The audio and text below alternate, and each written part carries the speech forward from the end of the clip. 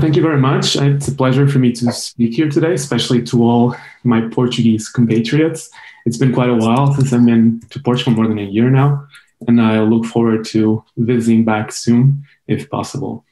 So, for this uh, presentation, I'm just going to really give a, a, general outline of the research activities we have ongoing in the Rob Finn's microbiome informatics team at EBI, and then focus a bit more on the work that I did in the past few years. So I was trying to put together this presentation. I was trying to find the most recent photo of our team. Really, the latest I could get was from 2018. Our team here has undergone a, a, massive restructuring, actually. So a lot of people also have left, and new people have come in. But one one thing that you can see here is all how happy we were and oblivious to what was going to happen in, in the next few years. And obviously now, now, like most of you, I imagine, things have drastically changed and uh, I think it's to the day, it's been one year since we all started working from home. And most of us have not been on campus for, for, yeah, for a year at least. Uh, so this is us. We still try to find ways to still socialize and have fun. And this is us uh, last year during our, our Christmas party. Okay, so now moving on to the science. So our microbiome informatics team is essentially structured into two main arms. So there's um, the server side of things that manage the MGnify platform. So this platform is really for allowing large-scale metagenomic analysis. So users can submit their data through here and process them through our own standardized pipelines. And then this gives them the advantage to actually compare their data sets with tens of thousands of other data sets that we already have available on our site. However, I'm not going to really be focusing on this for this talk, as Rob is actually going to be covering this in the afternoon session. So look forward to that. What I really wanted to talk about a bit more is on the research activities we have ongoing in our team. So our research team is uh, relatively recent and new. So we Rob's team only really started in 2018 on the on the research side of things, and we have been steadily growing and increasing.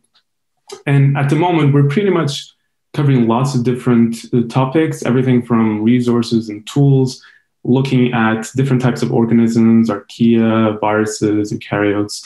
And we're not really just focusing on one biome specific. We have projects that focus on the human gut, but we also have other projects that span multiple environments and biomes. Now, if I really had to, to pick sort of an overarching theme for our group, it's really all about using metagenomics tools to really obtain novel biological insights while at the same time providing new resources and tools for the community to drive further discovery. And to illustrate this, I'd just like to briefly mention the different projects we have in our team, and then I'll focus a bit more on what I did in my postdoc. So Alejandra, she's um, a postdoctoral fellow uh, at EBI. She's actually shared between EMBL-EBI and the Wellcome Sanger Institute. And her project is mostly focused on obtaining new insights into the gut microbiome by using long read sequencing. So we all know that short read sequencing has dominated most uh, genomic efforts until now. But we recognize that using short reads, we are limited in terms of the, the amount of sequence data we can recover. As it, you can see, for instance, here in the middle, when you're trying to do the assembly of all these sequences, there are genes that are not able to be assembled with uh, short read sequencing alone. So what Alejandra is doing is really trying to find whether the functions, whether the genes that we recover with long read sequencing that we are not able to find with short reads alone. And she's now focusing specifically on these types of, of genes transposases that allow the mobilization of genes across bacteria, and specifically looking at the insertion sequences contained within these transposases. And, and she has actually found that lots of the insertion sequences she's finding in, in these uh, genomes actually very distantly related to standard database like ISFinder. She's now exploring this further and actually providing all these data as a unified resource as well. Felix, so Felix is a PhD student in our team, and he's um, his project is about developing a search system to manage the huge amount of information we have on the MGnify uh, platform. So at the moment, we have over 1 billion protein sequences within the MGnify platform. And what Felix is doing is trying to essentially link the protein sequences with all the metadata we have on the website, in addition to the genomes that are derived from these proteins, to try to link everything together. So once we have, let's say, a set of proteins, we can know the genomic context of these proteins and then link back to their annotations and to which bacteria they're found to discover uh, novel proteins and even clarify what might be the function of proteins with a known function, and then look at also uh, new bioactives. So uh, Felix has been sort of benchmarking and testing this search system using a particular uh, case study of this new PKS biosynthetic gene cluster that was discovered in E. coli that seems to be somewhat related with the incidence of colorectal cancer. Now, Paul is also a PhD student in our team, and he has been working and applying a new tool to evaluate the quality of eukaryotic genomes. So, in, in our field, essentially, a lot of biases exist for uh, bacteria. So, a lot of the tools and a lot of the methods that have been used so far are only appropriate for bacteria and even to some extent archaea, but little has been done for eukaryotes. So, uh, Paul has essentially developed a tool that uses a set of, of marker genes to evaluate the, the level of completeness and contamination of several eukaryotic genomes. So this tool called EukCC has now been published and is, is publicly available. And what Paul now is doing is sort of going beyond that, further refining his tool, but also applying, applying this to, to find novel eukaryotic genomes and species across multiple biomes. Uh, Santiago, so Santiago is a software developer in our team, so he bridges a bit more the, the research and the service side of things. And he's he works on a project called Emerald, whose idea is, is essentially about using artificial intelligence to discover novel secondary metabolites in metagenomic data.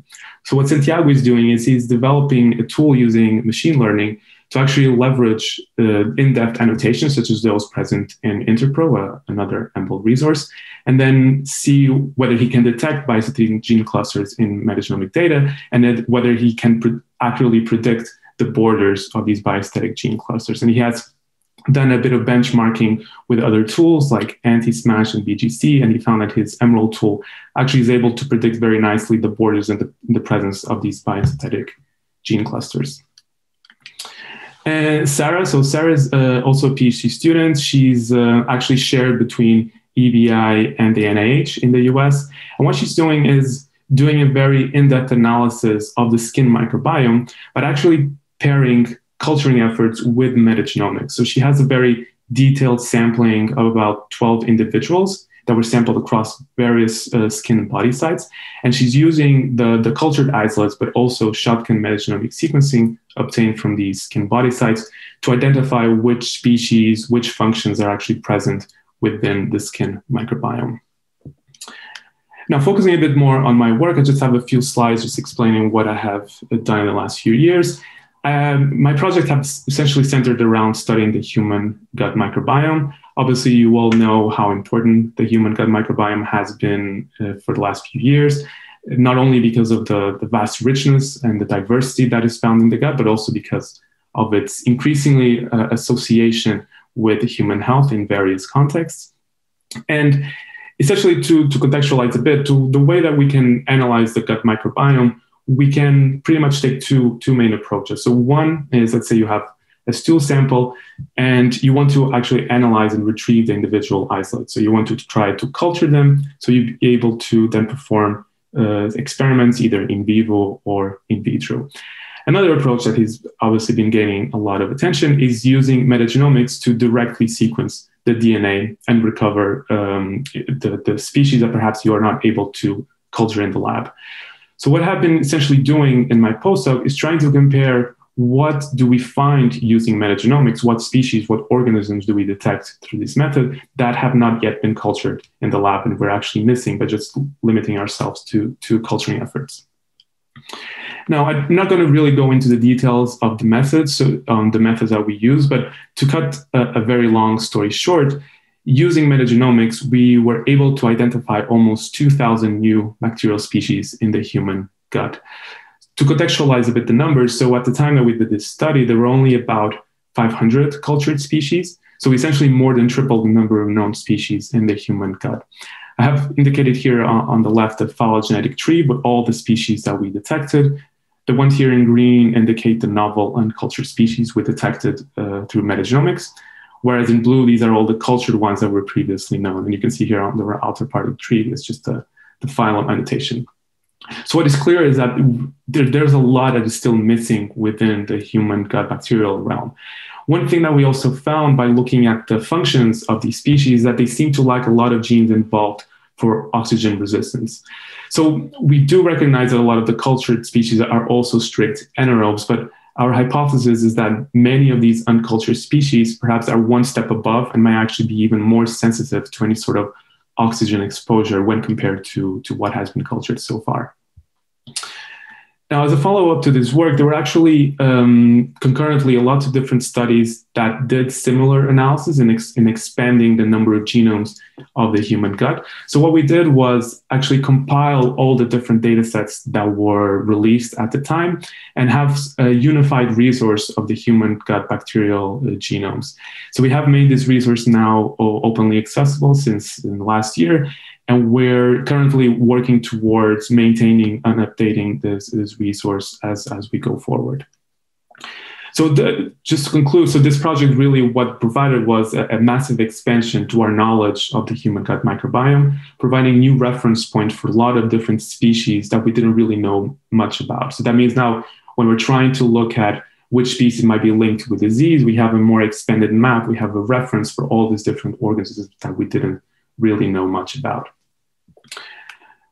so I'd just like to uh, acknowledge the, all the members of our team, at the Microbiome Informatics, and also our collaborators from the Sanger Institute. And I'll be happy to take any questions.